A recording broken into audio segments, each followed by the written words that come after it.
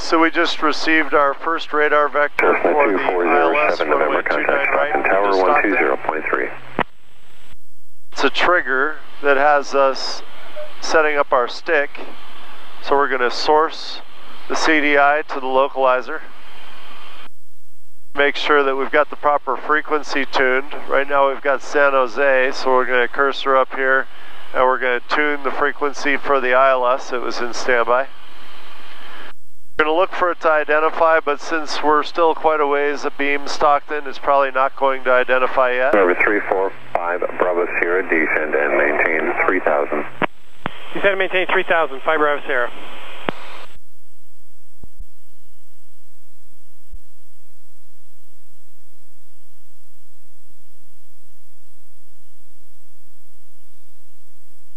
And that descent uh, Top rail is a 1806 trigger uh, to start our VFR at or descent checklist, but we'll finish our traffic stick and our in the approach setup first, then we'll come back to our descent checklist. We've sourced it, we've tuned it. We can't identify it yet, but we do have a good course, 294 is set, and the CDI bar is reading same side safe which means that we are getting a good signal, even though we're probably outside of the 2407 service November, volume. contact Stockton Tower 120.3. The only thing we have remaining to do on the localizer is to kick in the autopilot. We could also do a stick on our number two. Number two is Manteca, that's already set. We could come over here to VOR 2 and we could do our stick to 317, which is our missed approach radial for the missed off of the ILS. So it's sourced, it's tuned, it's identified, the course is 317, and we would just need to kick in the autopilot for that if we end up losing GPS on our missed approach procedure. Now we're going to go ahead and switch back to CDI1 and again confirm that our stick looks good, STIC, we've just got K to go there. Now at this point we want to activate the segment outside of SIMS. Since Mark has selected the approach from Modesto, we don't have the segment shown outside of SIMS. So what we can do is we can go direct SIMS down to course and we can dial in 294 which is our final approach course outside of SIMS. That way it displays the extended center line for our situational awareness. Preferably if the approach were loaded from Diger, then we could activate the leg, the segment that's outside of SIMS between Diger and SIMS. Now the stick is complete for the ILS, the VOR, the GPS flight plan. And we're pretty nicely set up for the approach. Now we'll go back to our descent checklist and finish that. Our descent checklist, our altimeter was 3015. 3015 and that's now set. Cabin heat defrost is good, landing lights on, fuel system. We did switch tanks over to the uh, fullest which was on the right. Mixture, we'll hold off on that so we've got mixture, flaps and autopilot to go. As we descend you can see the EGT getting warmer so if we're going to 345 continue Bravo Sierra, descend and maintain 2000. Descend and maintain 2000, Five Bravo Sierra. Sorry, the EGTs are getting cooler, so we're going to have to bump in a little bit of power or reduce the throttle a little bit. That will cause the EGTs to rise and that'll keep the uh, engine running smoothly. Bump in, a little, bump in a little bit of This um, mixture. engine runs Moving to 12 o'clock, nicely. Yeah, either power reduction or mixture above you with the adjustment can get you to that same uh, uh 1380 to The top 1400 rear region. 06 Golf traffic, That's where it 11 runs to 12 smooth o'clock, and it 1 stays mile cool as well. Um, 3100 Okay, Cessna doing air so as far as the descent checklist goes, mixture as required. Brake pressure, you did a check on that? November 06 Brakes are Golf good. altitude, your discretion. If we had a problem with the hydraulics, we'd want to be going to an airport like Stockton with 10,000 feet of runway. you. We got the traffic uh, side also, zero Tango Alpha. Before landing, we just have shoulder 7 kilo, harnesses. contact approach This is done, 127.4. Flaps to go, autopilot to go. November Mixture, 345 Bravo flaps, Sierra, autopilot. heading of 0900. 090, Five Bravo Sierra. We can tell by 090 that he's doing a good job setting us up for vectors outside of SIMS as we requested. If we had not requested vectors outside of SIMS, we would expect him to be targeting the gate. It is two nautical miles outside of QSEX. Uh, he's supposed to have us established at least two outside of QSEX with an intercept angle of 30 degrees or less. Pretty nicely set up for this approach. We'll be flying the published missed approach procedure on this one. So stay tuned for the five C's where we're going to cram full power, mixture, and throttle. We're going to hit the toga button. We're going to be climbing that point when the toga is activated. If we're autopilot coupled, it's going to bring us up 7 degrees nose up, which will give us an excess of 700 foot per minute at first. That's the cram, the climb, the clean is coming up here to raise the flaps. The comply is making sure we're in nav mode, autopilot mode, and that the altitude is pre-selected to the altitude that ATC has issued for the missed approach procedure. Since they haven't issued us anything other than the alternate or the uh, primary missed approach procedure, we'll go with that altitude of 2,000. So after we intercept the glide slope, we want to make sure that 2000 is set for the missed approach procedure. Cram, climb, clean, comply is this area here, and then call would be calling NorCal departure, Cirrus 345 Bravo Sierra is 400, climbing 2000, published missed at Stockton. Does that look to you? Looks good.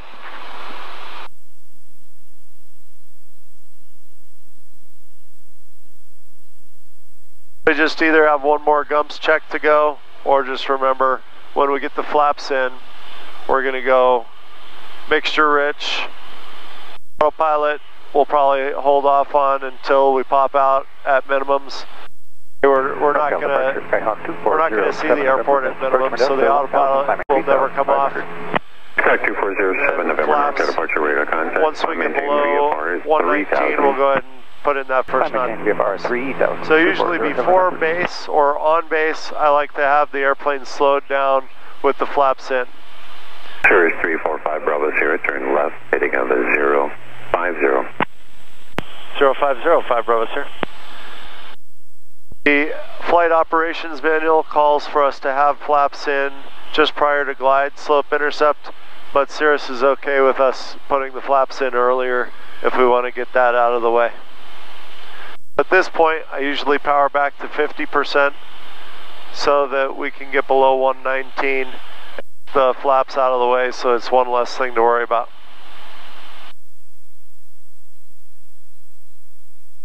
When we pull back like that, it actually puts us onto the rich side of peak. So now we're rich at peak at 1375. At this point I just throw up full rich just to get that out of the way. As we're looking to put the flaps in in a moment as the speed decays to 119. Set our first notch of flaps. We're at our pre-approach level power setting. Approach level should keep us above 100, somewhere in the 105 to 110 range of uh, indicated airspeed.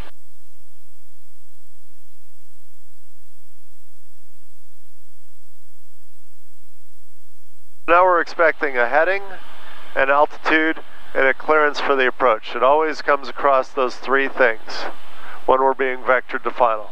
So when we hear our call, call sign, the first thing we do is we reach Cirrus up 345 Bravo Sierra, 2 miles from Sims, turn left heading 310, maintain 2000 until established on localizer, cleared ILS and right 29 right approach.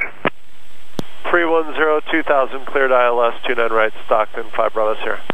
So then we repeat it to ourselves. Okay, did we get the heading? Yes. Calabria Did we get the altitude? Yes. There's We're no at traffic 2000. reported or observed We're between you and for the approach, Airport. therefore we hit Radar the service approach terminated. button. Squawk VFR, And we frequency look change for approach. glide slope to be armed to capture. Fox VFR. Also look to see that the glide slope is in view. We call that out. When we capture the localizer, we're going to call out localizer captured. That'll happen when localizer goes green and heading goes away. He almost did his job right. He was Almost. supposed to put us outside of Sims. Uh, nobody's perfect. At this close proximity, it will sequence on to the next waypoint, but if he had you over here, it might not. So you might have to activate that next segment, otherwise you'd be reading distance the whole way in on the approach. But you can see it did just sequence on to the next segment, so that looks good. We want to make sure that this flight plan follows along with us so that it's with us on the missed approach procedure. Otherwise, we can find ourselves without any missed. That might have been what happened to you the other day. If it was oh still stuck on November, something Orange, back here, at time 3 you won't have a published missed. Northwest. at least you guessed right. 2407 November, roger.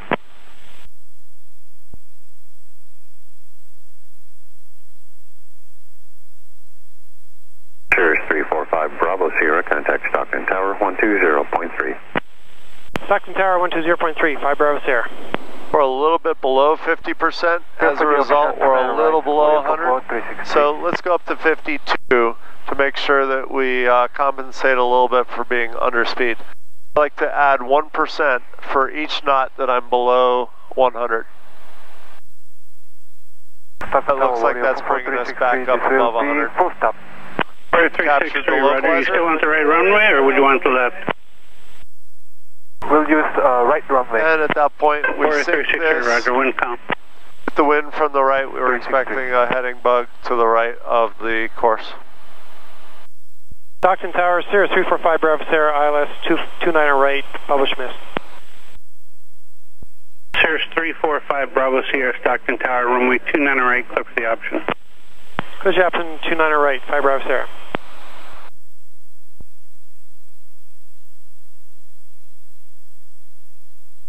Okay, we go through the GUMPS checklist again.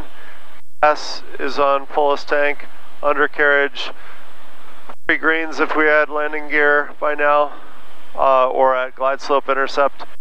And undercarriage is uh, checked as far as hydraulics go. Mixture is rich. Pump is on. Switches are good. We don't need pitot heat anymore, so that's off. Oxygen would be off. TKS off if we're out of icing conditions on a 22 turbo or Fiki. And switches and safety belts is briefing all the passengers in the back, make sure everybody's buckled up, ready to land. Okay, at this point we could descend to 1800 feet. But a 200 foot delta is not a problem. We can go ahead and pick up the glide slope at this altitude. The service volume for a glide slope is 3,000 feet. So anywhere out here is acceptable uh, in the 2,000 to 3,000 foot range. We see that the glide slope is alive. We call out that it's alive and it's armed to capture. Our airspeed is holding nice and stable now that we've bumped the power up to 52%. We use 50 as a target, but you may find yourself under different weight loading, different temperatures. Uh, you may find yourself a little higher or lower than 50% power to hold 100 to 110 knots. If we get up above 110 knots at any point, then we pull an extra percentage of power off. Okay, we're coming up on glide slope capture. We're going to look for GS to go green, at which point we're going to call out glide slope is captured. We're going to bring the power back to 30% in order to keep our speed in that 100 to 110 knot range.